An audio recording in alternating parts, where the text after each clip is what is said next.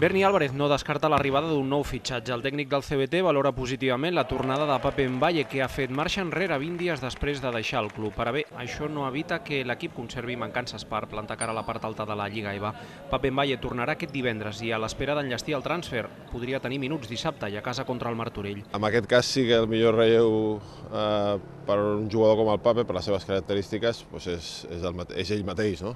Eh, és veritat que ha sigut una, una història molt ràpida, que ha sigut una mica mm, inesperada també, però bueno, hem, aquest cap de setmana eh, hem lluitat per ell, hem intentat que ell, que, que havia tingut una situació una mica traumàtica a Túnez, pues, fer tot el possible perquè, perquè tornés i, bueno, i amb les seves ganes i, i, i també ell que s'ha trobat sempre molt a gust aquí, pues, eh, hem decidit que tornés. No?